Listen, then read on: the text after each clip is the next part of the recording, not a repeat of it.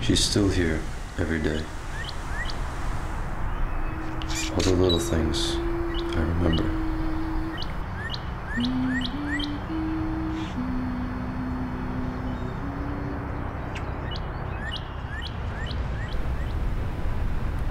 And the bad things too.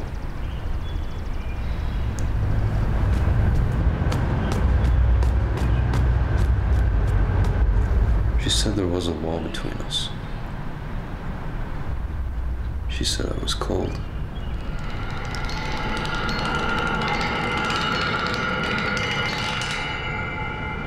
I didn't listen.